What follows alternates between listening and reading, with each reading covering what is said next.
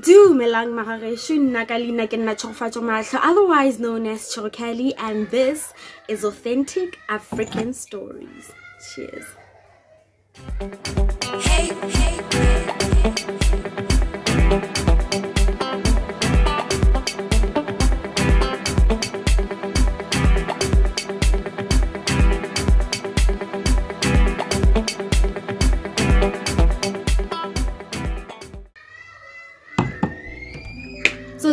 Basically a segment on my channel where I come out and I tell, like the name says, authentic African stories. Here we come out, we talk about um, stories that are African that are not necessarily, you know, being told the way or in the capacity that I feel like they should. Our kings and our queens deserve more than they got. So for this series, I'm going to be covering the kings and queens of Africa, at least the ones that I know of, and yeah, one step at a time. So um, so basically today I want to talk about Queen Modjadji. ge e le gore kwena mo aforika borwa o ja o le mo aforika borwa o dula limpopo province wa tseba motho ke bolelang ka ena ke bolela ka kgošigadi modjadji seneša pula le rothodi ke tse borela bokae but um i just wanted to flex just wanted to show off just wanted to sprinkle sprinkle sepedinyana here and there. But basically that's what i'm going to be doing in today's episode. I'm going to be covering the story of queen modjadji as someone who grew up more limpopo province i have um heard about queen modjadji I don't know from like a young age, from since I was young, all I knew about her is that Ronali, a queen who is able, who has the power to summon the rain and make it rain for her people so that her people don't starve, so that the crops don't so that the the crops grow so that they the, the the you know her people have enough water supply. So this is not just a queen, this is not just a royal, this is someone with the power to summon the rain. This is someone with the power to summon the waters. This is someone who has the power to control the clouds. Queen Modjadji. So I'm going to be divulging into that and we're going to look into the history of that. We're going to look at um, all of the queens. So far we've had six queens six queen modjadjis. Queen modjadji the first the second the third the fourth and the sixth. And we're about to have our seventh queen uh, come into her power or she's about to reign as well. So we're going to look at their history. We're going to look at how the whole queendom came about. Um, we're going to look at how the matriarchal lineage is passed on from one generation to the next of course there are other royal secrets that we'll never know. For example we don't know how the ritual is performed for them to summon the rain. But i i'm just happy and i'm excited that i'll be able to tell you guys the story. So without wasting any time let us get into it I'm gonna start by naming all six queens that have reigned and for how long they have reigned. We have so, Queen Musalekwane Modjadji who has reigned from the 1800 to 1854. We have Queen Musala Nabo the first Modjadji who has reigned from 1854 to 1894. Then we have Queen Kesetwane Modjadji the third who has reigned from 1895 to 1959. Then we have Queen Makoma Modjadji who has reigned from 1959 to 1980. Then we have Queen Mako, Queen Ma, sorry, Queen Mukope Modjadji the fifth, who has reigned from 1981 to 2001. Then we have Queen Makobo Modjadji, who has reigned from 2003 to 2005. And from 2005 to, two, to 2022, we had Prince Regent. He was the prince. He was regent, meaning he was just holding it for somebody else. This was Prince Regent Mpapatla Modjadji, and he reigned from 2005 to 2022. And finally, we are about to crown our latest queen, which is Queen Musala Nabo, the second Modjadji, from 20 from August 2023 it will be her coronation and she will be officially crowned as the seventh queen of the Balobedu Kingdom. We are talking about Queen Sinishapula. We are talking about Queen Modjadji. Now that we know who the six queens are, now that we know who the six queens are, we need to understand how the the royal crown ascends. So the crown ascends from like in a matrilineal lineage. That means the firstborn daughter of every queen will inherit the crown and will become the ruler of the Balobedu people. She will also inherit the powers to become the queen to rule. What we also need to understand is that the royal council also has a hand in selecting who will be the next queen that will rule over the Balobedu people, who will be the next queen that will inherit the power to make it rain. Another bizarre ritual that um, this queendom had is that near their death, the queen has to um, poison themselves and unalive themselves so that they can pave a new path for the queen to rule peacefully. Apparently this is what the, the the, the ancestors wanted. This is what the ancestors recognized so the queen just as she or if she realizes that she's near her death what she will do is she will ingest poison and she will unalive herself in order to make space or make way for the new queen to come and reign so now let's talk about the first ever queen Modjadji. That is Queen Muselekwane Modjadji, who is the first Queen Modjadji, and she reigned from 1800 to 1854.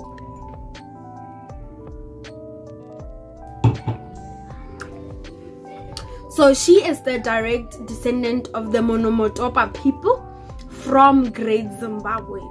She is from a royal house of that particular chiefdom or kingdom his great grandfather or let me just say yeah his great grandfather was a king and he ruled over this people from at least from the 1400s to the late 1500s so what happened was the chief's son had an incestuous relationship with the daughter.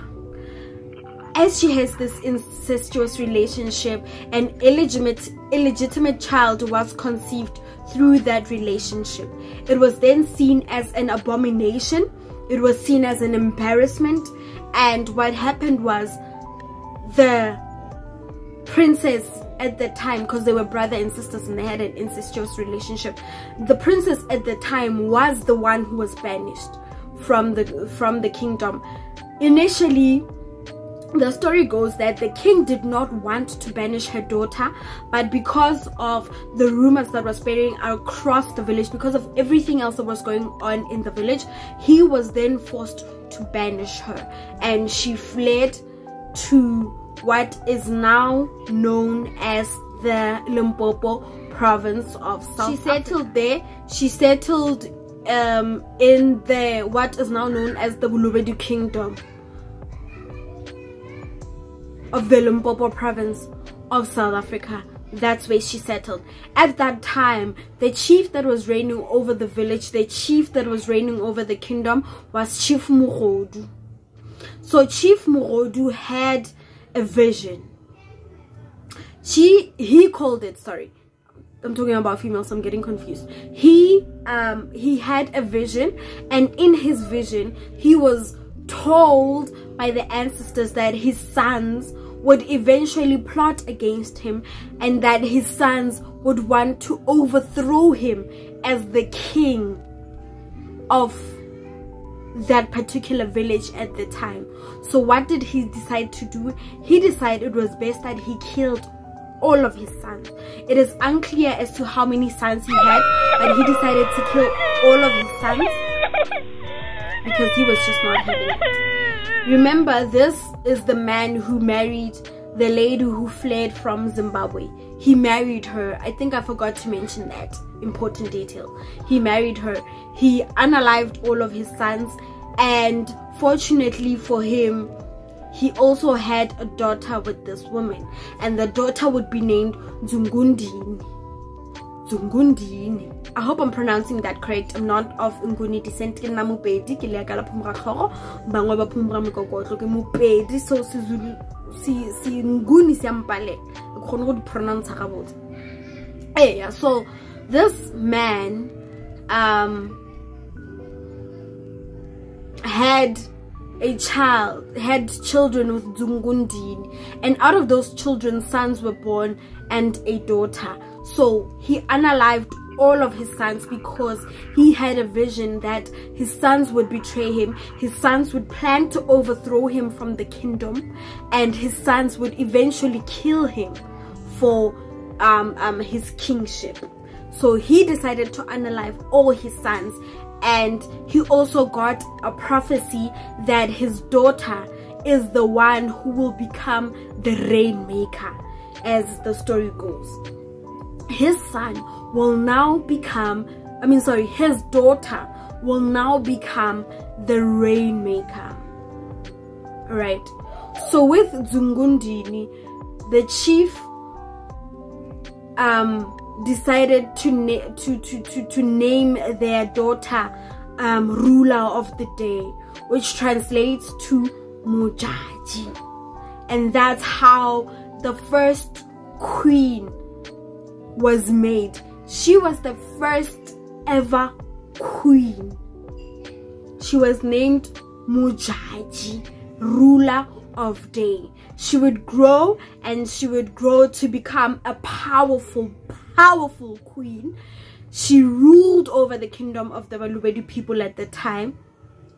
What is said about her is that she was very secluded she would go into the forest where she would perform her rituals, her rain rituals, where she would summon the rain, where she had power over the clouds, where she had power over the waters. And ever since she reigned, there was never drought in the village. The people had water, the people had food, crops would grow. And in as much as she was secluded and as she was reigning, she went on to marry and have um, several children. Towards the end of her life, she ingested poison. She ingested poison, which would end her life almost immediately. And she said that she is um, making way for the next queen to come into um, um, um, um, a royal, I don't know what they call it, but so that the next queen can successor Queen Musala Nabo. Modjadji went on to rule from 1854 to 1980. So not much is, is as I was doing some digging, not much is actually known about Queen Musalanabo the first. Queen Musalanabo the first Modjadji. So what we know about her is that she ruled during the time where white people were becoming more aggressive with coming into power and they had little to no respect for the kings and queens that were ruling over the land all the time. And they obviously we know the history of white people is that they um, um, you know they oppressed the black people. They wanted to strip away the royalty that these people had. So during the native relocation act general Piet Joubert um, he would hunt down for her. And eventually at some point it is alleged that she gave herself up um to general also known as a mysterious figure because she never really um, um, put herself out in public she never really went out to the public and she was hardly seen and she hardly made public appearance. It is also believed that the person who gave herself up to General Piet Joubert is not the actual queen, is not actually the queen that was reigning at the time, but a replica. And that is what we know about her. Um, what else? We know nothing else about her. It's just believed that a stand double, a replica, was sent to General Piet Joubert to sacrifice herself for the queen to say that she to pretend like she is the then queen and at some point close to her death the ritual came to. She ingested poison to make way for the committed ritual suicide in 1894 after she named Liakali as her successor. The third queen that came to rule is Kesetwane Modjadji. She ruled from 1859 to 80 to 1959. Yeah, she ruled from 1859 to 1959. Modjadji the third was the daughter of Princess Liakali. So Liakali was the sister to Queen Musalanabo the first. She was also known as the great wife. So I'm thinking she's the sister wife. And because Queen Musalanabo never, never um, bared any children, she named Liakali as her successor. And Kesetwani was then chosen by the royal councils to succeed Queen Musalanabo. Kesetwani was the daughter of um, Princess Liakali, right? And she succeeded the, the, the queendom from Queen Musalanabo Modjadji the, the, the, the, the, the, second. And she went on to become Kesetwani Modjadji so Kese, uh, Queen Kesetwani was the longest reigning queen because she reigned for 64 years. That's a lot. That's a lot. She reigned for 64 years and she chose her daughter Makoma to become his successor. So Kesetwani is believed to have cursed the queendom because she refused to die by a ritual suicide. Remember all the queens before her, when it was just about time for their lives to end, they would ingest poison, commit ritual suicide to make way for the new queen. Now she is believed to have cursed the entire queendom by refusing to commit ritual suicide, which is just, I mean, it's just bizarre if you ask me. But that is all we know about that's all we know about queen queen kesetwani so now we move on to the fourth reigning makoma modjadji the fourth who reigned from 1980 from 1905 to 1980 yeah she reigned from 1905 to 1980 so um not much is known about Queen Makoma as well, but we do know that when she was reigning as queen, she was reigning under the apartheid regime, which eventually would strip her of the title of queen and give her the title of chieftainess. I don't even know, like, bruh, bruh. Anyway, they gave her the title of chieftainess and it was under her jurisdiction. Excuse me. It was under her jurisdiction that um, the Native Homelands Act was um, implemented.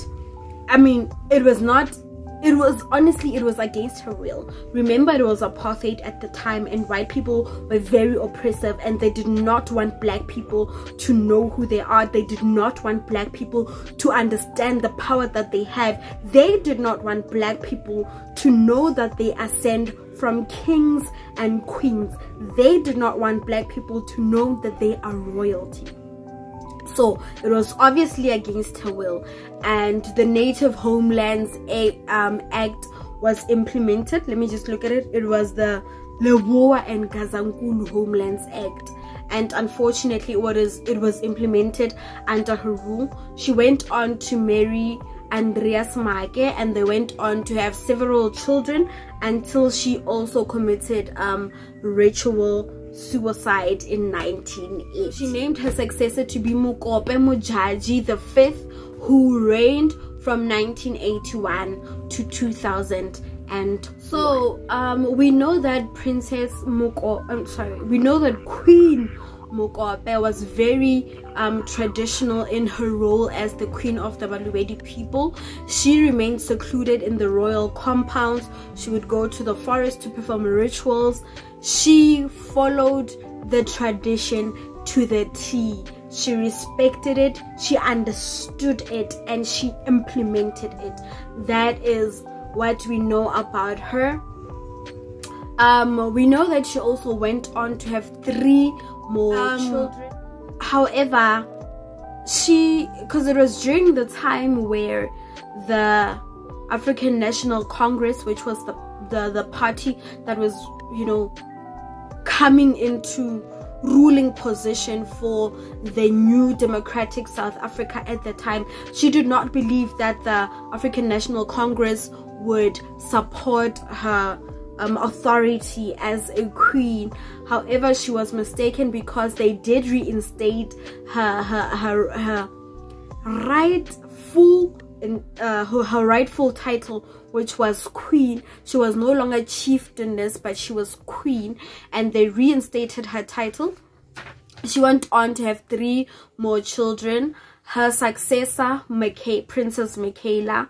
However um, passed on two days before her mother, Queen Modjadji, the, the, the, the fifth, passed on. So Princess Michaela died um, two, two days before her mother died in 2001. And two days later, her mother died. And Michaela's daughter was then named to be the successor. She would now become the fifth queen to rule the Balobedu kingdom, she would now become the fifth. She would now become Queen Modjadji the fifth, and her name is Makobo, Queen Makobo, Queen Makobo Modjadji the fifth, and she reigned from 2001 to 2003. So Queen Makobo was very, very, very different from all the other queens.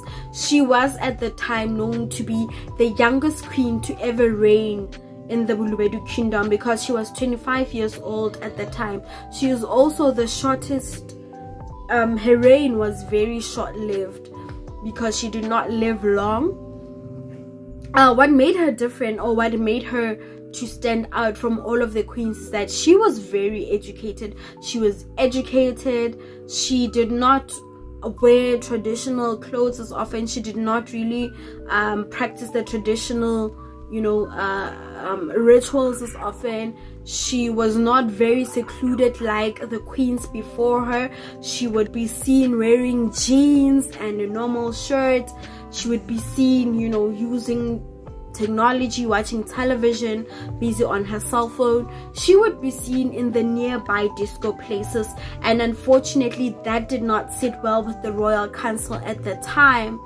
Unfortunately for her when she she fell in love with a commoner which is just very it's it's it's not something that is what that was you know welcomed at the time because every queen that had reigned before her even though i did not mention the kings because in my opinion they're not even relevant they were there for procreation purposes but the the kings came from royal descent. And the, the the kings were actually their cousins. So they would marry within the family, they would marry within the clan to keep the royal blood in the family because that was what was believed at that time. And she married a commoner. Apparently, she married some guy who was a municipal manager of Letaba region at the time. And the guy was a commoner. So obviously, the guy was not welcomed by the royal council. The guy was not welcomed by the royal family and she went on to have a baby with this child. And in 2006 she unfortunately fell ill and she was admitted to the Mediclinic hospital in Polokwane. Um, she was admitted and she passed on two days later. The cause of her death is still unknown but there are conspiracy theories as to what caused her death um, some some people believe that she was poisoned by the royal council because they did not approve of her relationship with the commoner. Some people believe that she died of a broken heart because she was not allowed to be in a relationship with this man that he that she had a child with. They were not allowed to be together. And the hospital staff that worked at Mediclinic at the time allegedly believed that she might have died from HIV and AIDS. of which I'm very skeptical about that one because it it I, I understand it was 2006 but it, it did not kill unless if you were not taking your medications you were not taking your ARVs HIV did not necessarily kill at the time. It was more advanced unlike it was in the 90s you know? But um yeah the hospital staff believes that and unfortunately some strange sorry some strange sorry some strange circumstances happened a day before her funeral. Um the the the, the room that her casket was in before the burial the room went up in flames fortunately she could like uh her body was recovered. She she did not burn up. The the casket did not burn up. And some people believe that that's just a sign to say that there was foul play involved in her death. Because she was young. 2001 2002 2003 she was gone. She did not live long enough to fully you know reign over her kingdom. And it is believed that she did not really welcome uh, her queendom because she wanted to live life she wanted to live life like an ordinary person. She did not want to be royalty but that's that's just alleged. And her lover who worked at the municipality her lover still believes that she was poisoned by the royal council because they did not want her to rule they did not believe her fit to rule because of the relationship that she had. She did not get married to a guy who was within the royal space and they did not approve of that and she believes that he believes that she was poisoned. Anyway um her child queen musalanabo the second ke musalanabo the second modjadji the seventh queen the second modjadji the seventh. She was deemed to be too young to rule because she was still an infant at the time. And um it is alleged that she was removed from that space because they were afraid that she was going to get murdered. And it is alleged that she was removed from that space even though she later came back to her hometown to her royal um, compound but she was still too young to rule. And the brother of queen makobo was then named as the regent king and his name was mpopotli modjadji mpopotli ruled from 2003 to 2022 and queen musalanabo just musalanabo the second just turned 18 recently um, in 2023 and it is said that she is going to have her coronation um, in august of this year. So August 2023, she will be having her coronation and she will be officially named as the Queen of the Balobedu people. She will be Queen Modjadji. She just celebrated her 18th birthday in April 2023, and all of the important people that you might think of, the president was there. Um, the ministers were there everybody was there to celebrate her birthday and she will now be named the seventh queen of the Balobedu people the seventh queen the seventh reign queen queen musalanabo the second modjadji the seventh. And i for one am excited that this tradition is still ongoing. It's still there. It's still alive even up until this day. Okay? Um yeah that is all i have for you today from the authentic african stories. If there's any king or queen that you would like for me to go into detail about that you want to know more about and you want me to do research on your behalf and tell their story please do let me know in the comment section down below. And don't forget to like this video. Don't forget to share. Mekokotlo. And this is authentic african stories. I hope that you guys enjoyed. Take care and mwah.